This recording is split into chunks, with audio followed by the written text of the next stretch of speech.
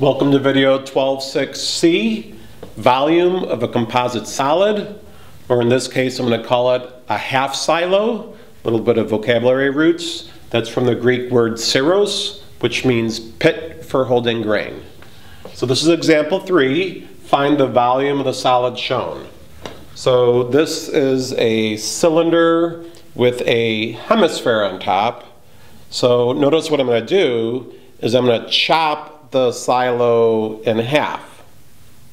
Now when I chop the silo in half, I'm chopping the cylinder in half and the hemisphere in half. So instead of getting a half, uh, half sphere, I'll end up with a quarter of a sphere. All right, and maybe this would be used if they had a divider, uh, one part for grain, one part for barley or something like that. All right, so I'm just gonna break it down. So the volume of a half cylinder plus the volume of a half of a hemisphere. All right, so I'll write down the formulas. So uh, a cylinder is base times height. So I got a half of that. One half base times height plus the volume of half of a hemisphere. So one half of one half of four thirds pi r cubed. Um, and then I'm just gonna, for the cylinder, again the base is a circle, that's pi r squared. So it'll be one half of pi r squared h plus, um, I'll do some simplification here. The 2 and the 2 here cancel with the 4. So that makes my computations a little bit easier. So it'll be plus pi r cubed.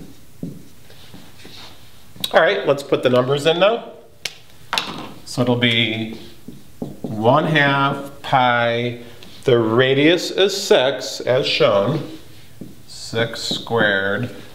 The height of the cylinder is 10 plus pi. The radius of the hemisphere is going to be the same as the radius of the cylinder if it fits directly on top. So it'll be plus pi times 6 cubed. Again, that's 6 and that's 6. All right, so this is going to be 36 divided by 2, 18 times 10, so 180 pi. Plus 6 cubed, after a while you memorize it, 216, plus 216 pi. And I'm just going to add these together. So 80 to that is 96, so 396 pi.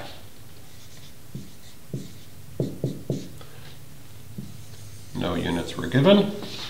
So again, leave your answer in exact simplified form.